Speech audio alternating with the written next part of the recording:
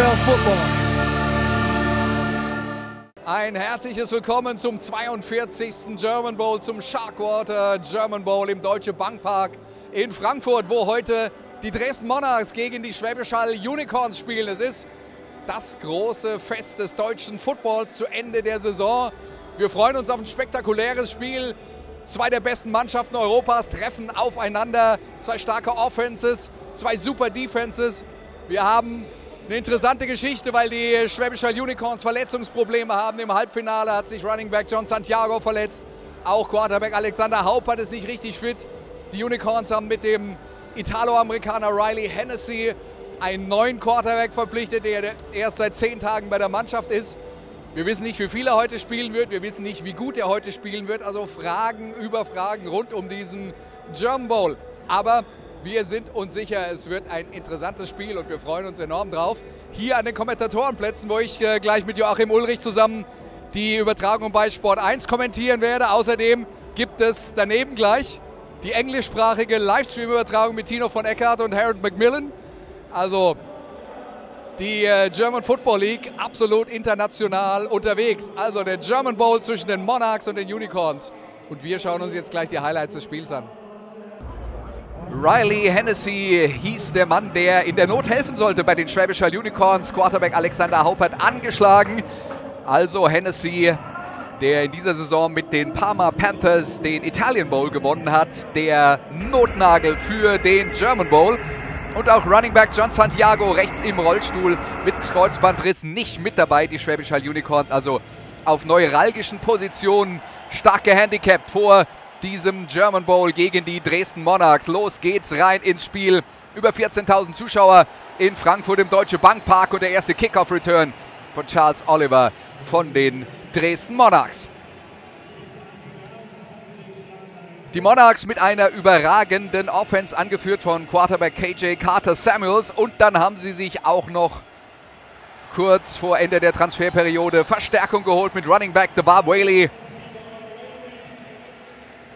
ein Running Back mit britischem Pass, der in der SEC College Football gespielt hat für die University of Arkansas. Er läuft hier für acht Yards. Anschließend Dritter und zwei. Und er wird wieder Whaley geschickt und da kommt Devin Benton für die Schwäbisch Hall Unicorns und tackelt Whaley für Raumverlust und die Haller stoppen den ersten gegnerischen Drive. Er endet also mit einem Punt für Dresden. Dann kommt die Haller Offense und kleine Überraschung, Alexander Haupert in der Startformation trotz Knieverletzung. Dritter Versuch und zwei. Haupert entkommt. Man sieht nicht so viel von der Knieverletzung, aber der Pass ist unpräzise und Andrew McElroy, der Linebacker, bringt die Hand dazwischen. Also müssen auch die Unicorns punten. Und dieser Punt funktioniert nicht sonderlich gut. Der ist sehr kurz. Alexander Haupert eigentlich Panther Nummer 1. Mit Knieverletzung natürlich nicht. Das erledigte Ari Minden. Aber die Dresdner beginnen an der 40-Yard-Linie der Unicorns und der Pass von Carter Samuels auf Anthony Brooks bringt 10 Yards und ein neues First Down. Und dann steht Dresden schon an der gegnerischen 14-Yard-Linie. Carter Samuels hat die Zeit und er findet seinen Nummer 1 Receiver Daryl Stewart zum Touchdown. 7 zu 0 für Dresden. Stewart gegen Montez Lattimore läuft dann in die Zone rein von Safety Cody Pastorino. Die zwei besten Passverteidiger der Unicorns können Stewart nicht stoppen. Liegt auch daran, dass Lattimore hier nicht ganz im Bild zu sehen ein wenig ausgerutscht war. In dem Moment, in dem er Stewart folgen wollte. Also die ersten Punkte durch eine der produktivsten Kombination in der German Football League in dieser Saison. Carter Samuels auf Daryl Stewart. Andere Seite, hier ist Alexander Haupaten, da ist Moritz Spöringer, der Wide Receiver, der manchmal auch Tight End spielt und dann wieder Wide Receiver. Hier kommt er über die Mitte und macht 18 Yards. Anschließend zweiter und sieben. Und wie wäre das nochmal mit der Knieverletzung von Alexander Haupert? Davon sieht man hier nicht so viel. Er gibt alles, macht sieben Yards. Und dann, aufgepasst, nächste Situation, nicht ganz im Bild. Deswegen nur in der Wiederholung zu sehen. Alexander Haupert mit einem Pass auf Tyler Rutenbeck. Der Ball kommt nicht an, aber die Schiedsrichter werfen eine Flagge. Charles Oliver von den Dresden Monarchs mit einer Passbehinderung damit neues First Down für Schwäbisch Hall. Und das war das Zeichen zur Attacke für Head Coach Jordan Newman und Quarterback Alexander Haupert. Denn der geht hier Richtung Endzone und da ist Rutenbeck und er hat ihn und das ist der Touchdown für die Unicorns. Zumindest mal auf den ersten Blick kommt Schwäbisch Hall auf 6 zu 7 heran. Tyler Rutenbeck, der Veteran auf der Receiver-Position, der gar nicht so viel gespielt hatte in dieser Saison. Schauen wir noch mal drauf, hat er den Ball tatsächlich gefangen.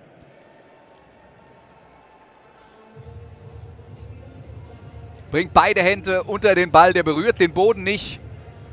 Also Touchdown Schwäbisch Hall, weil er Jonas Gacek, dem deutschen Cornerback der Dresden Monarchs, davonläuft. Tyler Rutenbeck also mit den ersten Punkten für die Unicorns. Das Problem für Schwäbisch Hall, der anschließende Extrapunkt von Tim Stadelmeier war nicht gut und damit nur 7 zu 6 für die Dresden Monarchs aus Sicht der Unicorns, also die Chance auf den Ausgleich liegen gelassen. Was machen die Dresdner mit dem Ballbesitz? Hier ist Carter Samuels, der die Bälle wie immer in dieser Saison stark verteilte. Und dann hat er wieder Daryl Stewart gegen Montez Lattimore, einer der besten Receiver gegen einen der besten Cornerbacks der German Football League. Ein absolutes Klasse-Duell, aber Stewart macht hier 36 Yards und damit wechseln wir die Seiten rein ins zweite Quarter, wo es weitergeht mit dem Passspiel der Dresden Monarchs und Carter Samuels auf Radim Carlos. Und das sind 14 Yards und das ist ein neues First Down. Aber es war bei weitem nicht nur das Passspiel, auch wenn Carter Samuels die meisten Passyards in dieser GFL-Saison erzielt hat. Whaley war immer wieder ein Faktor und dann läuft er bis kurz vor die Endzone und dann ist der Ball frei. Und in der Endzone fallen die Schwäbisch Hall Unicorns auf den Ball. Tobias Löffler erobert ihn. Und die Frage war, was ist hier passiert? Und wir gucken uns das nochmal in der Wiederholung an. Zunächst mal der Draw. Die Unicorns Abwehr reagiert spät. Dann kommt hier der Tackle auf den Ball. Whaley verliert den Ball klar, bevor er am Boden ist, klar, bevor er in der Endzone ist. Und damit freier Ball. Und dadurch, dass Löffler ihn erobert in der Endzone der Unicorns, heißt das Touchback und Ballbesitz für die Haller.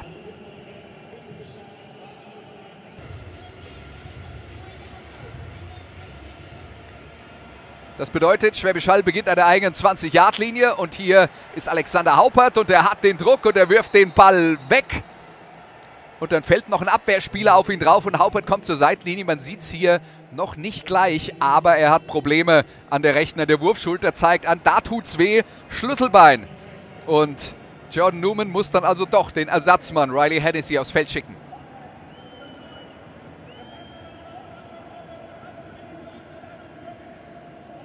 Schiedsrichter Thorsten Nabinger mit der Durchsage obendrauf noch Intentional Grounding, absichtliches Wegwerfen des Balles, um einen Sack zu verhindern.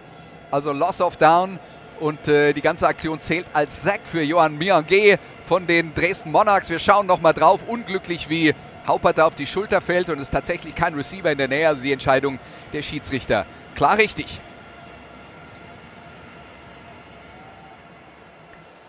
Ja, die Haller dann nicht in der Lage, ein First Down zu machen. Und Pius Brosinecki puntet aus der eigenen Endzone beim vierten und 28. Und der Return von Charles Oliver, das ging gerade so gut für die Monarchs. Beinahe ein Ballverlust. Aber dann wieder die Offense. Und da ist wieder, der war Whaley. Hat ja was gut zu machen nach seinem Fumble. Läuft hier für ein neues First Down. Und kurz danach die Monarchs genau da, wo sie kurz zuvor schon mal waren, als äh, Whaley gefummelt hatte, nämlich knapp vor der Haller Endzone.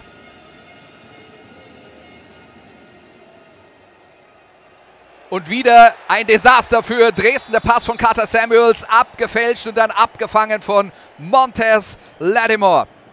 Da müssen wir jetzt drauf schauen. Dieses Play hat ziemlich viele interessante Elemente.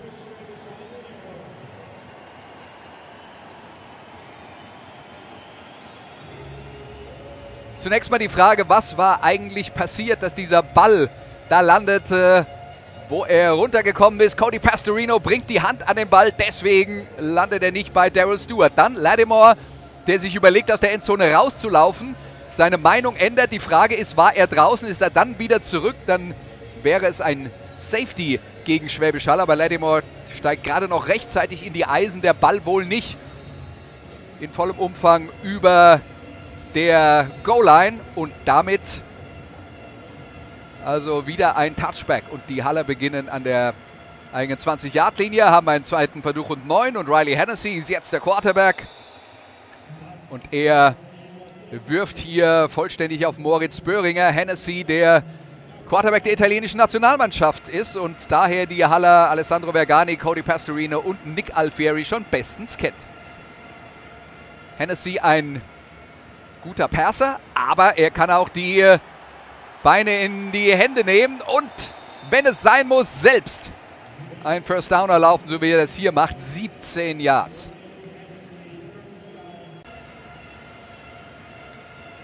Und so bewegen die Unicorns den Ball bis in die Dresdner Hälfte, sind jetzt an der 10-Yard-Linie und Hennessy mit dem Touchdown-Pass auf Tyler Rutenbeck. Und die Unicorns gehen in Führung. Es steht 12 zu 7. Play Action und dann das Duell Rutenbeck gegen Charles Oliver. Also der beste Cornerback gegen den besten Receiver auf beiden Seiten. Und der Pass von Hennessy perfekt platziert zur Außenseite, wo ihn nur sein Mann fangen kann. Und damit also der zweite Touchdown für die Schwäbisch Hall Unicorns und der erste von Riley Hennessy in dieser Partie und der erste im deutschen Football für Hennessy. Nach dem vergebenen Extrapunkt wollte Jordan Newman mit einer Two-Point-Conversion die fehlten Punkte wieder zurückholen.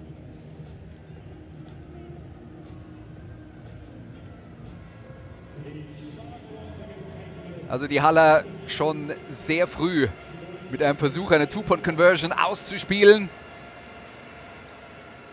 Und der Pass von Hennessy, gedacht für Moritz Böhringer, da gab es Kontakt, der diskutabel war, aber die Schiedsrichter sagten einfach unvollständig, auch wenn Böhringer das anders sah. Und damit das Ende der ersten Halbzeit und eine 12 zu 7 Führung für die Schwäbisch Hall Unicorns. Alexander Haupert an der Seitenlinie, es war klar, er kam nicht mehr zurück, aber trotzdem dankbar seinem Trainer, dass er die Chance bekommen hat, zum allerersten Mal in einem German Bowl zu spielen. Also, Halbzeitstand 12 zu 7 Schwäbisch Hall. Fehler der Dresden Monarchs ermöglichten den Unicorns diese Führung.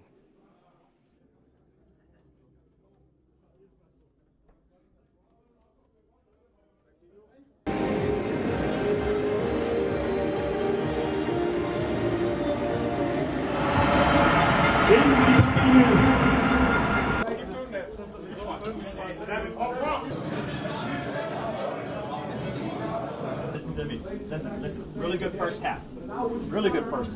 half. Okay? Alex, thanks for giving that up. We're controlling these guys, especially in the pass pro. Pass pro keep kicking their fucking ass. Give us all day long to be back there and throw. Okay? We're in control just like we thought we would be. We're in control of these guys. Now, now let's go finish it for the next couple of quarters. Now let's go finish this, fellas. Okay, we got it right in our hands. Keep that physical blocking. Hey, now listen. Keep up the physical blocking. Keep the physical blocking up. Keep the pace up. They're trying. They're similar to kind of Brown strike. They're trying to get longer calls in, and they're having a tough time getting that done.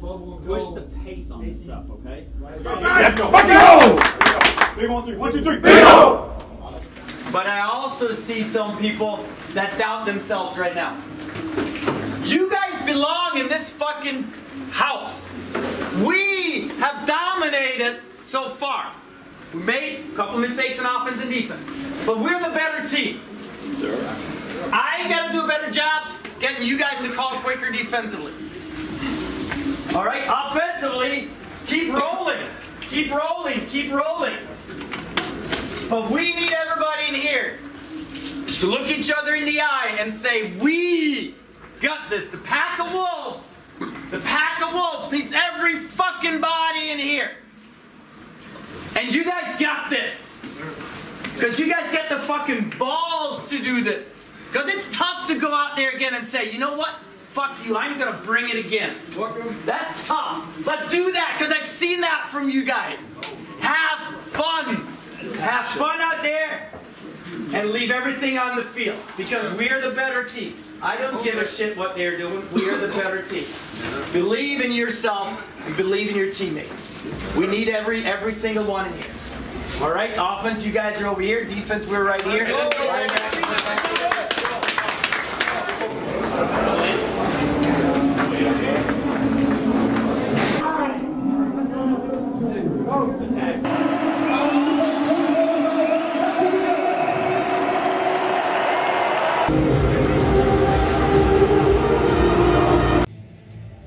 Das ist der Pot, um den es geht, der German Bowl.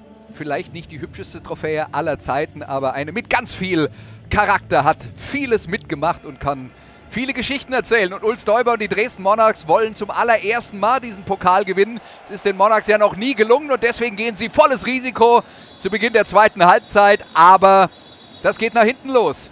Ein Onside-Kick-Versuch von Kicker Florian Finke, der versucht sich da den Ball selbst vorzulegen und er trifft ihn nicht richtig. Rutscht mit der Sohle so über den Ball, dass er nicht die erforderlichen 10 Yards zurücklegt, bis Finke ihn erobern kann. Ein bitterer Auftakt für Dresden und der nächste Fehler der Monarchs, der den Unicorns Tür und Tor öffnet. Da sehen wir es nochmal. Der Ball schafft gerade mal 3 Yards. 10 hätte er zurücklegen müssen, bevor ihn der Kicker erobern darf. Also die Fans der Unicorns hoffnungsfroh und natürlich auch froh darüber, auf der Anzeigetafel im Stadion zu sehen zu sein. Was machen die Unicorns daraus? Also Riley Hennessy weiter der Quarterback. Klar, Haupert kann nicht mehr zurückkommen. Yannick Meyer ist der Wide Receiver, der diesen Pass hier fängt für 13 Yards.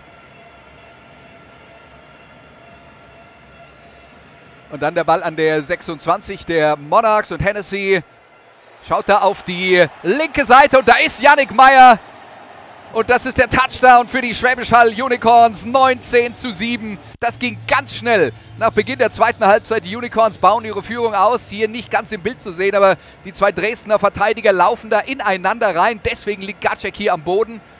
Und der Weg ist frei für Meier. Also jetzt die Dresdner Offense äh, gefragt. Carter Samuels auf Stewart und der fängt den Ball da in Bedrängnis ganz stark von Daryl Stewart für 20 Yards. Die Dresdner, die den Ball gut bewegt hatten, die mehr vom Spiel hatten in der ersten Halbzeit, aber mit ihren Fehlern die Unicorns eingeladen hatten. Und Schwäbisch Hall hat diese Gelegenheiten hat auch konsequent ausgenutzt. Und dann ist hier wieder DeVar Whaley mit einem Draw. Und das war ein Spielzug, der den Hallern immer wieder wehtat in dieser Partie.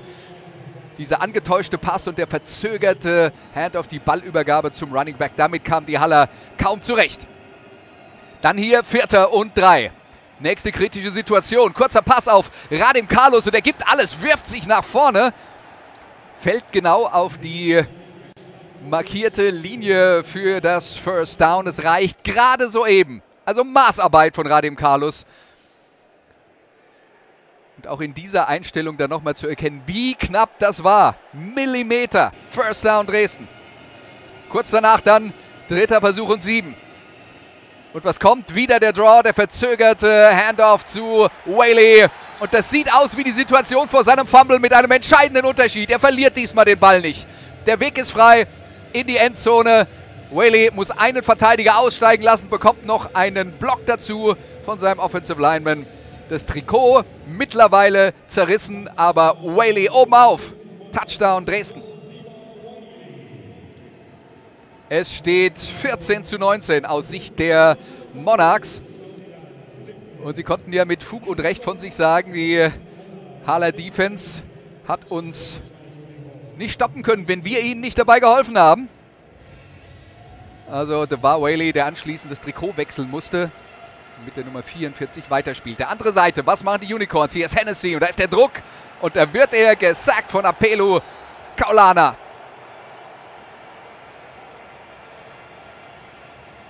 Der hawaiianische Linebacker der Dresden Monarchs zur Stelle. Anschließend dann Punt von Ari Minden und auch der wird geblockt. Auch das geht schief. Die Special Teams der Unicorns mit Fehlern in dieser Partie. Ein sehr kurzer Punt in der ersten Halbzeit. Verschossener Extrapunkt. Und jetzt hier der geblockte Punt. Robin Wilczek bringt die Finger dazwischen. Und damit dann Deluxe-Ausgangsposition für die Offense der Dresden Monarchs.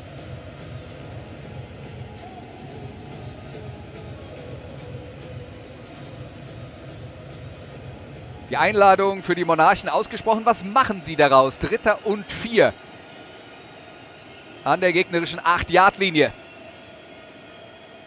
Und da ist der Pass von Carter Samuels gedacht für Whaley. Der Ball ist unvollständig und damit gibt es keinen Touchdown für Dresden, sondern einen Field Goal Versuch von Florian Finke aus 25 Yards.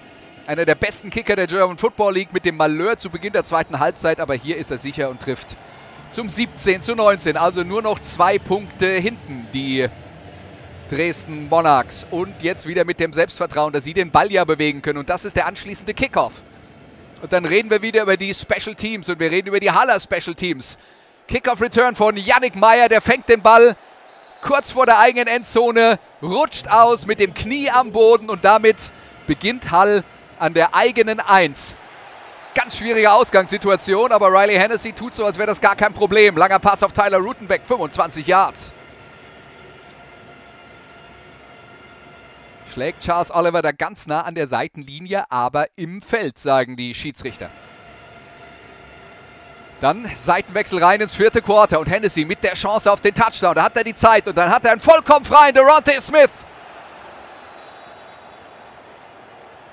Der Pass unvollständig, fängt er den, ist der Weg in die Endzone frei. Stattdessen gibt es einen Punt und die Dresdner weiter oben auf mit ihrer Offense und Carter Samuels.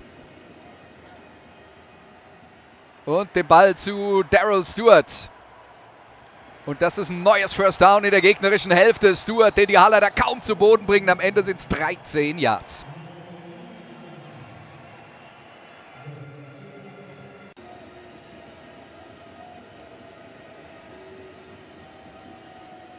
Weiter Carter Samuels, der die Bälle fantastisch verteilte. Findet hier Antek Podgorski, der polnische Wide Receiver, der in der zweiten Saisonhälfte eher eine Nebenrolle gespielt hatte mit 26 Yards.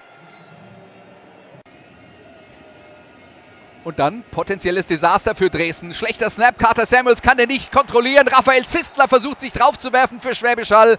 Aber Carter Samuels rettet gerade so den Ballbesitz für Dresden. Football ist manchmal eine Sache von Millimetern und da hatten die Haller die Chance, den Gegner zu stoppen und schaffen es nicht. Zistler verpasst den Ball. Also kein Touchdown, aber ein Field Goal. Florian Finke trifft erneut und damit holt sich Dresden die Führung in diesem Spiel zurück. Es steht 20 zu 19 für die Dresden Monarchs.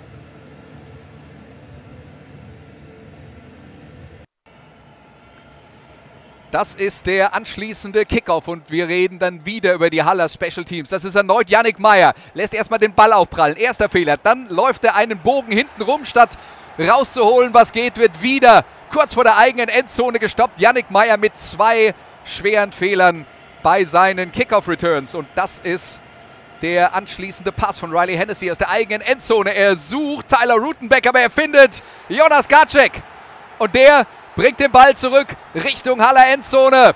Die Dresdner jubeln. Touchdown war es wohl nicht bei diesem Return, aber auf jeden Fall ein Turnover und trotzdem ein Problem bei diesem Play. Wir schauen noch mal drauf. Hennessy bekommt ein bisschen Druck, der Ball ist ein bisschen zu kurz geraten und Garcek fängt den fantastisch. Nur die Schiedsrichter hatten nach dem abgefangenen Ball aus Versehen abgepfiffen. Und deswegen zählt der Return von Garcek nicht. Wir sehen hier nochmal, in der Endzone war er wohl nicht, aber er wäre bis zur 1- oder 2-Yard-Linie gekommen. Stattdessen die Dresdner also dann doch deutlich weiter hinten mit dem Start ihres Drives, nämlich an der Stelle, an der die Interception gefangen wurde. Tyler Rutenbeck, am guten Tag verhindert er in dieser Situation. Die Interception gelingt ihm hier nicht. Stattdessen Dritter und Drei für Dresden. Und die Haller riskieren alles defensiv. Und da sagt dann Radim Carlos, Dankeschön, den nehme ich, bringe ihn in die Endzone. 28 zu 19. Schauen wir nochmal drauf. Carter Samuels zur Seite. Der Haller-Verteidiger Christian Köppe will alles, nämlich er will die Interception und den Touchdown für die Unicorns. Aber er läuft am Ball vorbei und dann ist der Weg frei in die Endzone zum Touchdown. Und die Dresdner bauen ihre Führung aus. Und zwar dann tatsächlich auf 9 Punkte und 28 zu 19 mit dieser Conversion auf. Da war Whaley und ich habe es vorhin schon mal angesprochen. Jetzt also Whaley mit der Nummer 44 auf dem Feld, nicht mehr mit der Nummer 12. Das Trikot war zerrissen. Jetzt aber Mordsdruck auf die Offense der Unicorns. Hennessy auf Meyer für 12 Yards. Neun Punkte Rückstand, das heißt, Hall muss auf jeden Fall zweimal punkten. Also ein Touchdown und ein Field Goal würde reichen, um die Führung zu übernehmen. Reihenfolge ist egal. Zweiter und zehn. Hennessy auf Moritz Böhringer schafft nicht ganz das neue First Down. Fehlt noch ein bisschen was.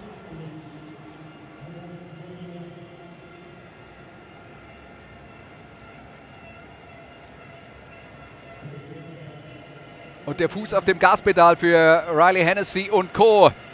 Quarterback Sneak, aber abgepfiffen von den Schiedsrichtern. Ein Fehlstart und damit nicht mehr Dritter und Eins, sondern Dritter und Sechs. Also sagt Jordan Newman, ich habe einen guten Kicker mit Tim Stadelmeier, den schicke ich aufs Feld und der bringt uns hier die drei Punkte, die wir ohnehin brauchen. Das ist die Theorie und die Praxis sieht so aus. Stadelmeier verschießt aus 29 Yards. Normalerweise ist er sicher aus diesen Distanzen, aber hier nicht. Und das war die Entscheidung im Spiel. Die Dresden Monarchs gewinnen also zum allerersten Mal den German Bowl 28 zu 19 unterm Strich verdient, weil die Dresdner den Ball besser bewegt haben als der Gegner in dieser Partie. Und die Dresdner in der ersten Halbzeit mit mehr Fehlern, die Haller in der zweiten Halbzeit unter dem Strich Dresden Monarchs, also deutscher Meister. Herzlichen Glückwunsch, Dresden. Zum allerersten Mal geht die deutsche Footballmeisterschaft nach Sachsen. Bei mir ist jetzt Jörg Reister, Geschäftsführer der Monarchs. Jörg, herzlichen Glückwunsch. aus Dresdner Sicht muss ich sagen, hat lang genug gedauert, oder? Wir haben viel Geduld mitbringen müssen, aber umso mehr ist die, so größer ist die Freude jetzt. Wie groß ist die Freude, weil es ausgerechnet gegen Hall ist? Ach, das hat nichts mit Teil zu tun. Das ist einfach nur endlich mal Champion sein. Das ist so ein langer Weg gewesen. Wir werden nächstes Jahr 30 Jahre und endlich haben wir es geschafft. Und wart, also wart die ersten Jahre der GFL auch nie, also weit entfernt, so Titelkandidat zu sein. Wann, wann ist denn so der, der Umbruch und das Gefühl entstanden, dass in Dresden so was Großes wächst, was deutscher Meister werden kann? Oh, ich würde das gar nicht an einem Zeitpunkt festmachen. Wir waren ja schon immer mal nah dran. Dass wir heute gegen äh, Hall gewonnen haben, macht es natürlich umso umso wertvoller vielleicht den Titel, weil einfach wir an Halt die letzten äh, fünf, sechs Jahre einfach gescheitert sind. Was bedeutet das jetzt für die Monarchs in Dresden ganz besonders? Ne, für uns ist es toll, für unsere Fans, die uns die ganzen Jahre supportet haben, ist es einfach der Hammer. Und wir hoffen uns natürlich, klar, wir hoffen, wir kriegen Zulauf. Äh, ist toll. Jetzt äh, seid ihr deutscher Meister, jetzt wird euer Stadion umgebaut. Wie schwer wird es jetzt die nächsten ein, zwei Jahre wirklich auf diesem Erfolg aufzubauen? ich denke, wir sind, äh, wir sind ein sehr konstant arbeitender Verein. Ich denke nicht, dass wir äh, äh, dass es, nicht, dass es nicht schwer wird, da aufzubauen. Es ist nicht so die Last, weil wir jetzt, jetzt sind wir nicht mehr der Underdog, jetzt sind wir der Gejagte für nächstes Jahr und dann dementsprechend müssen wir uns stellen. Jetzt mal Hand aufs Herz. W wann hast du heute dran geglaubt? Na, gehofft habe ich das ganze Spiel über, ja. Aber echt. Aber wirklich dran geglaubt. Aber äh, du hast ja gesehen, wir haben alles für die Show getan. Ne? Also das war, es war spannend bis zur letzten Sekunde. Mitten aus der Spielertraube, bevor es gleich den Pokal gibt. Tim Hagenmann, wie erstmal Glückwunsch zur deutschen Meisterschaft. Wie fühlt es sich an? Unbeschreiblich, unbeschreiblich. Ich kann, kann es im Moment nicht in Worten fassen. Einfach nur unglaublich. Unglaublich nach so einem Spiel. Yes, sir! Es war klar, dass wir nicht trocken nach Hause gehen. Alles gut. Wie, ähm, du gehörst auch zu denjenigen, die schon ein paar Jahre in Dresden sind, die immer wieder an Hall gescheitert sind. Wie fühlt es sich an, sie endlich geschlagen zu haben? Es kann nicht besser sein. Es ist wie ein Traum, wie ein Traum, der in Erfüllung geht. Zweimal in Hall verloren. Was kann es für eine bessere Geschichte geben, wie Hall im Finale zu schlagen? Unbeschreiblich, unbeschreiblich. Wie ist als Spieler hier? Es war das Spiel so laut. Wie, wie, wie schwer ist es, sich anzupassen als Defense-Spieler? Es ist schwierig halt zu kommunizieren, aber wir haben die ganze Woche gut trainiert mit lauter Musik. Ähm, wir haben unglaublich tolle Fans, die machen immer extrem viel Krach bei unseren Heimspielen und von dem her sind wir uns gut gewohnt. Wie sieht die Zukunft für dich jetzt aus? Geht's weiter in Dresden? Ähm, wir feiern heute Abend und dann reden wir über die Zukunft. Okay, dann Genau. jetzt viel Spaß beim Feiern. Vielen Dank. Vielen Dank.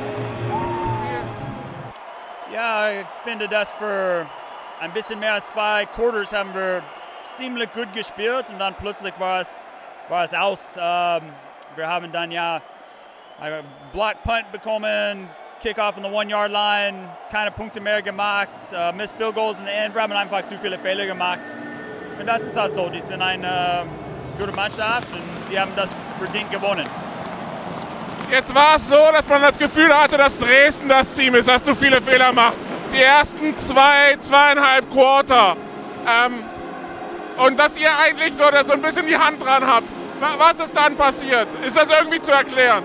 Ja, es ist schwer zu erklären jetzt im Moment, weil ich finde, dass insbesondere nach der, äh, als wir den äh, dritten Viertel angefangen haben mit dieser Onside-Kick und dann gleich einen Touchdown gemacht und dann ab diesem Zeitpunkt haben wir nicht das Spiel fertig gemacht und die haben das gemacht.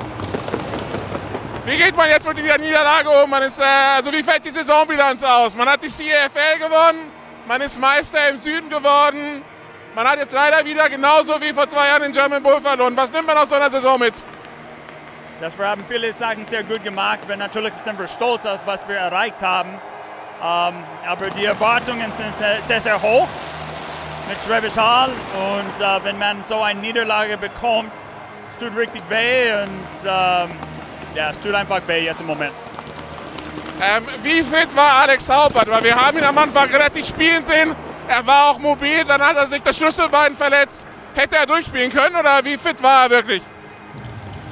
Äh, nach dieser Schlüsselbeinverletzung war er komplett raus. Das, das, war, das war Schluss. Äh, aber ich bin sehr, sehr stolz auf ihn. Er hat natürlich Knieverletzungen, und, aber trotzdem hat er hart gespielt, hart gekämpft und gut gespielt. Und ähm, dann haben wir ihn verloren, aber Riley hat das auch ziemlich gut gemacht, dass er reinkommt. Er war hier zehn Tage, aber trotzdem ja, gut gespielt. Ja, verlieren ist scheiße, aber wir haben selber verkackt mit dummen Fehlern und ja, passiert. Was hat denn heute gefehlt denn, gerade in der zweiten Halbzeit? Irgendwie hat man das Gefühl, am Anfang macht Dresden die Fehler, ihr nutzt sie aus und irgendwie ist es dann gekippt. Was ist da passiert? Ja, keine Ahnung, wir haben einfach nicht mehr den Ball so bewegt und dann dumme Fehler gemacht, zwei Returns zu, bei, ein, bei der 1 Yard angefangen. Ist halt schwer, wenn das Feld so lang ist, dann konstant Punkte zu machen. Wie fällt jetzt das persönliche Fazit für dich diese Saison aus? Ihr habt die CFL gewonnen, ihr seid ungeschlagen Südmeister geworden, seid den German Bowl eingezogen, habt den jetzt verloren. Was nimmt man so? Wie ist die Bilanz persönlich dann für einen Spieler nach so einer Saison? Ja, war fast perfekt, bis auf heute, aber ja, kann nicht immer gewinnen. Wie war es für dich jetzt wieder, die, die Saison in Schwäbisch Hall zu spielen, nachdem, nachdem du die ganzen Jahre drüben warst? Ja, war auf jeden Fall schön, wieder einfach aufgenommen worden zu sein, als ob man nie weg war. Und ja, hat auf jeden Fall Spaß gemacht. Die Frage ist dann natürlich, wir schon irgendwelche Pläne für 2022? Nee, weiß ich noch nicht, keine Ahnung. Bei mir ist jetzt Christian Piewatz. Christian, du bist Kultusminister, du bist Präsident des Verbands in Sachsen, aber zuallererst bist du Fan der Dresden Monarchs. Christian, die Dresden Monarchs sind deutscher Meister. Ja, ich kann es noch nicht fassen. ne. Gerade eben kam We Are the Champions von Queen und wir haben uns immer vorgestellt, wie das ist, wenn es einmal für die eigene Mannschaft gespielt wird. Und nach so langen Jahren ist es jetzt endlich soweit und das ist unbeschreiblich. Wir haben Relegation zusammen kommentiert. Ähm, die Dresden Monarchs haben sehr lange Geduldsfaden gebraucht. Acht Jahre zwischen den German Bowl-Teilnahmen und unzählige Fahrten nach Hall. Wie fühlt es sich jetzt an?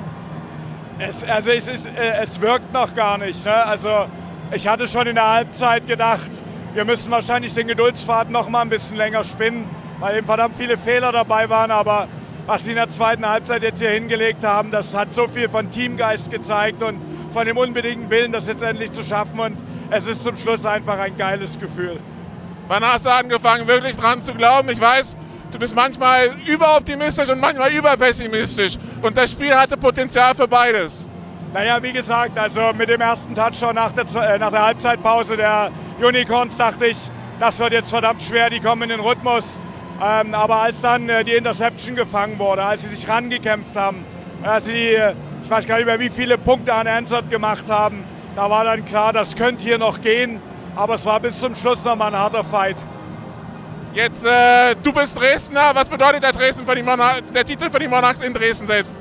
Naja, also ich glaube, dass das jetzt ein Statement ist, äh, nachdem wir ja einen äh, äh, Fußballverein haben, der sehr stark ist, nachdem wir die Volleyballdamen haben, die ja schon mehrere deutsche Meistertitel gewonnen haben, dass die Monarchs jetzt einfach gleichberechtigt da drin sind. Das zeigen ja auch die, die Zuschauerzahlen, die wir mittlerweile haben. Und es ist ein unwahrscheinlicher Schub für die ganze Organisation, die über die letzten äh, ja, fast 30 Jahre organisch langsam, aber stetig gewachsen ist. Und das wird jetzt nochmal den richtigen Schub nach vorn bringen. Wie gehst du jetzt damit um, dass du jetzt sechs Monate die Monarchs als deutscher Meister betrachten kannst? Also quasi die, die GFL-Saison auf dem Höhepunkt. Du brauchst nicht mehr die Patriots, um dich zu retten. Ja, die Patriots wird es weiterhin geben, aber es werden jetzt sechs oder sieben Monate mit einem breiten Grinsen sein, wenn man sich daran erinnert. Und ich sage mal so, äh, wir haben alle ein bisschen was dazu beigetragen und vor allen Dingen diejenigen, die im Verein unwahrscheinlich viel ehrenamtlich machen und die haben sich das verdient und die können noch ein breiteres Grinsen haben. Es ist einfach ein geiles Gefühl. Bei mir Ulz Stolber, Headcoach der Dresden Monarchs. Ulz, erstmal herzlichen Glückwunsch zum Titel. Vielen Dank. Ähm, Traum erfüllt? Ja, natürlich. Das, wenn, wenn, wenn das kein Traum erfüllt ist, dann weiß ich nicht, was ein Traum erfüllt ist. Aber es hätte auch ganz schnell zum Albtraum mutieren können. Reden wir mal über das Spiel. Also die Fans und auch wir Beobachter, wir saßen da zur Halbzeit und dachten so, das ist eine Halbzeit, aus der darf Dresden nicht rausgehen und im Rückstand sein. Wie sieht es der Coach? Ja, haben wir genauso gesehen. Wir, wir sind in die Halbzeit gegangen, haben gesagt, we are the better team. Um, we made mistakes on the sideline, we made mistakes on the field. Und, und daraus haben wir wieder gelernt, dass wir das nicht machen dürfen. Und, und haben aber auch Confidence gehabt, dass wir das wieder drehen können. Und dann kommt ihr aus der Halbzeit und dann kickt der, Tritt, dann kickt der Kicker, beziehungsweise tritt der Kicker am Ball vorbei. Ja. Wie, wie, fühlt man sich dann an der Seitenlinie? Mm, das ist natürlich ätzend, und, aber, aber das eine Play entscheidet nicht, nicht über den Ausgang. Die Defense hätte stoppen können, die Offense hätte keine Turnovers machen können. Wir sind ein Team von, von, von über 70 Leuten. Da muss jeder für jeden da und wenn jeder, jemand einen Fehler macht, dann müssen die anderen ihm helfen es fühlte sich ja das ganze Spiel so an, als wäre hier die dominantere Mannschaft, bloß dafür kann man sich im Football nichts kaufen. Letztendlich, so ab Mitte dritte Quarter, hat man das aber dann auch auf dem Feld gesehen. Gab es irgendwas, was den Unterschied gemacht hat, warum es plötzlich geklickt hat oder war das wirklich Execution? Das war Execution. Äh, Execution. Wir haben, vor allem ich habe an die Spieler geglaubt, habe die mehr machen lassen, als dass ich zu viel Einfluss genommen habe und die haben gezeigt, dass sie das hinkriegen. Nun, äh, du hast Schwäbisch Haller Vergangenheit. Ähm, wie, viele, wie viele Herzen schlagen heute Abend in deiner Brust? Also welches, welches schlägt stärker? Na, äh, also das, was einfach toll war und schön war für mich zu sehen, wenn ich vor dem Spiel hier rausgehe zum Warm-up, beglückwünschen mich Leute aus, aus Schwäbisch Hall oder sagen Leute aus Schwäbisch Hall Hallo und genauso von den Dresden Monarchs. Da gibt es keine, es gibt eine Rivalry, aber, aber kein, kein Kampf oder Hass oder sonst irgendwie was gegeneinander. Es ist einfach schön, dass man dass man das sehen kann. Und ich freue mich natürlich super, dass wir gewonnen haben. Ich hätte es den Hallern nicht gegönnt, muss ich ganz ehrlich sagen, weil ich hier gewinnen will. Aber, aber ich freue mich auch, wie wir, wie wir als, als Teams und als Football Family zu dem Ganzen stehen können. Nun bist du ja etwas kürzer im Verein als viele andere. Die rennen dem Titel seit Jahren hinterher. Jetzt hast du ihn diesen Wunsch erfüllt. Wir haben diese Gesichter gesehen der Dresden Monarch, Spielerfans, die einfach ähm, wunderbar, also die einfach freudestrahlend sind. Wie, wie fühlt man sich da als Coach, wenn man den Leuten diesen Wunsch erfüllen kann? Ja, das, also wir haben ja Leute dabei, die sind schon seit 30 Jahren im Verein. Und für die ist es einfach Wahnsinn, dass, dass, dass die sich auch den Traum mit erfüllen konnten mit uns zusammen. Wie schwer ist es in so einer Corona-Saison, wo die Vorbereitung auch so, so lief, wie sie lief, ähm, wirklich sowas wie regulären Spielbetrieb durchzuführen? Also wenn du jetzt zurückblickst, wie, wie schwer war es oder war es dann doch irgendwann Routine? Das war Routine. Also wir hatten auch das während der Corona-Zeit schon, schon trainiert und dann haben wir, haben wir an dem angeschlossen, was wir immer machen. Und insofern war das auf jeden Fall für uns Routine. Dann muss man halt ein bisschen mehr testen, muss man ein paar Sachen hier und da machen, ein paar mehr Hoops, durch die man springen muss. Aber, aber insofern war das für uns, dadurch, dass wir halt den Backbone von unserem, von unserem Verein haben, sehr, sehr gut zu lösen. Ihr habt dieses Jahr ein Spiel verloren, das erste. Ähm, wie wichtig, rückblickend war das als Weckruf oder wie, wie schätzt du dieses Spiel dann ein? Also ein Spiel zur Perfect Season. Äh, ärgert das einen dann oder? Also mich ärgert das nicht. Es, ärgert, es hat mich insofern geärgert, äh, wir hätten, wenn wir das gewonnen hätten, wäre es schon klarer gewesen, dass wir Nordmeister werden. Das, aber, aber insofern war es gut. Wir mussten keine Leute schonen oder konnten keine Leute schonen. Das war gut für uns, wie wir das alles so geregelt haben. Mich ärgert gerade heute Abend gar nichts.